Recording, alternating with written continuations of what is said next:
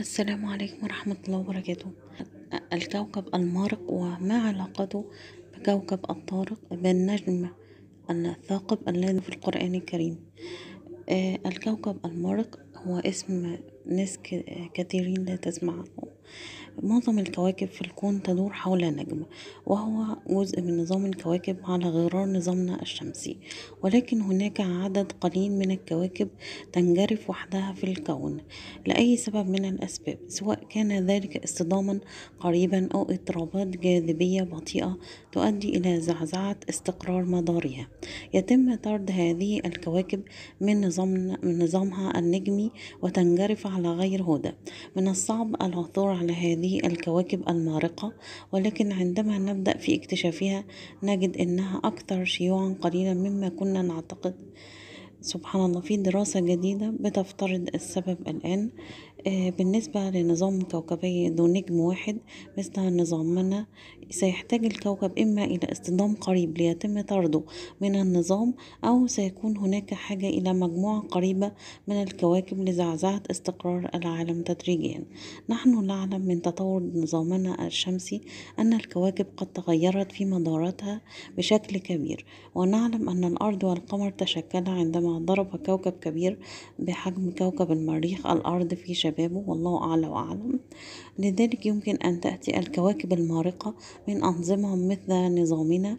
لكن عملية المحاكاة تظهر أن عدد الكواكب المارقة آه، التي آه، وجدت التي ينتجها نظام النجم الواحد صغير نسبيا. ما وجدوه هو أنه في حين أن الكواكب في الأنظمة ذات النجم الواحد تحتاج إلى أن تكون متباعدة بشكل وثيق لإنشاء كوكب مارق. في الأنظمة الثنائية يمكن للكواكب أن تكون متباعدة على نطاق واسع ولا تزال تولد الكواكب المارقة. إن الجمع بين قوى الجاذبية من النجوم والكواكب الأخرى يكفي لزعزعة استقرار مدارات بعض الكواكب. بشكل عام يظل الكوكب الأكبر في النظام مستقرا ويمكن أن يزعزع استقرار مدارات الكواكب الأصغر. وبناء على عملية المحاكاة عمليات المحاكاة التي أجروها إذا كان للنجمين مدار دائري فإن وجود عالم بحجم نبتون آه، يكفي لتوليد عوالم مارقة. إذا كانت النجوم الثنائية تدور حول بعضها البعض في مدار إهليجي فإن وجود أرض عملاقة يكفي لتوليد كواكب مارقة. معظم الكواكب المارقة التي اكتشفناها هي الآن كواكب آه، كانت كواكب غازية كبيرة جدا. إذ كان هذا النموذج صحيحا فهذا يعني أن هناك عوالم أصغر بكثير تتجول في المجرة. ونظرا لمدى شيوع وجود كواكب أرضية فائقة؟ حول النجوم القزمة الحمراء فمن الممكن أن تكون مجرة درب التبانة مليئة بالكواكب الصخرية المارقة الصغيرة. وسيكون التحدي هو العثور عليهم في الظلام البارد للفضاء بين النجوم. سبحان الله. فقد اكتشف العلماء قاتل الكواكب الذي يمكن أن يضرب الأرض. آه، اسموه قاتل الكواكب. اكتشف العلماء في النظام الشمسي الكويكب في النظام الشمسي الداخلي. آه، فاكتشف علماء فلك كويكبا يطلقون عليه اسم قاتل الكواكب مشيرين إلى إمكانية أن يصطدم بالأرض يوما ما. والله أعلى وأعلم. وكان الكويكب المسمى AB7 عشرين اتنين وعشرين ألفين اتنين وعشرين من بين ثلاث كويكبات جديدة قريبة من الأرض مختبئة في النظام الشمسي الداخلي وهو الاسم الذي يطلق على المنطقة الواقعة داخل مدارات الأرض والزهرة. آه، ويوجه علماء الفلك آه، يواجه علماء الفلك صعوبة في العثور على الكويكبات بهذه المنطقة بسبب الوهج الشديد للشمس ومع ذلك تمكنوا من اكتشاف هذا الثلاثي بسبب ظروف ملائمة خلال فترة قصيرة من الشفق. ونجح العلماء في اكتشاف الكويكبات باستخدام كاميرا الطاقة المظلمة المثبتة على تلسكوب فيكتور إم بلانكو في مرصد سيرو تولو إنتر أمريكان في تشيلي ضمن برنامج تابع لمؤسسة العلوم الوطنية الأمريكية. سبحان الله. فهي سابقة تاريخية آه، كما قالت وكالة ناسا تنجح في تغيير مسار كويكب. سبحان الله. وحسب تقرير العلماء فإن الكويكب AB7 آه 2022 الذي يبلغ عرضه حوالي آه 1.5 واحد ونص كيلو متر له مدار قد يضع يوما ما في طريق الاصطدام بالأرض رغم أنه من الصعب تحديد متى قد يحدث ذلك بالضبط. بالضبط. الله أعلى وأعلم.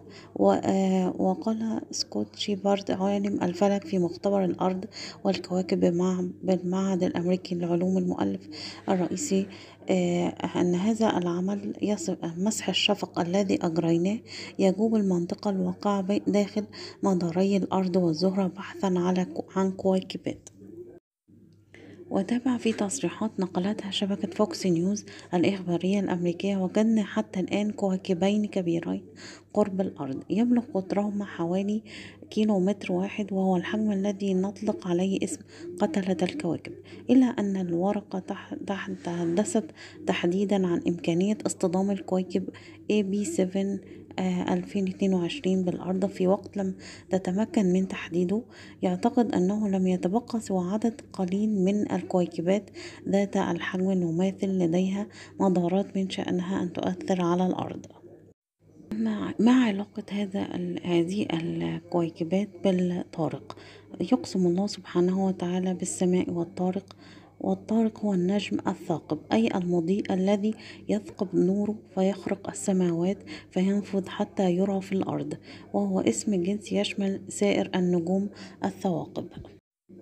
في سورة الطارق والسماء والطارق وما أدراك ما الطارق؟ النجم الثاقب. ما هو النجم الثاقب الذي أقسم به الله تعالى بالسماء والطارق والنجم الثاقب؟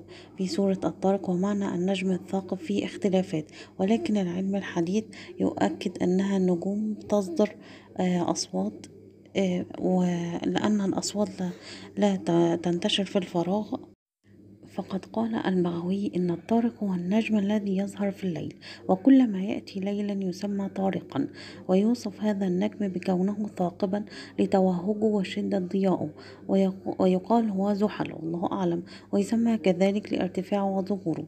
قال الرازي رحمه الله إن الطارق هو جميع ما يأتي في الليل سواء كان من الكواكب أو النجوم أو غيرها وذلك لأن الطرق لا يكون إلا في الليل. سبحان الله. الثاقب المضيء كأنه يثقب بضوءه وإناراته ما يقع عليه. ثقب الثاقب المضيء الذي يثقب بنوره وإضاءته ما يقع عليه. النجم الثاقب آه سوف نرى آية من آيات الخلق في رحاب هذا الكون الواسع وكيف تحدث عنها القرآن بكل, بكل دقة ووضوح. إنها النجوم النابضة أو ما سماها القرآن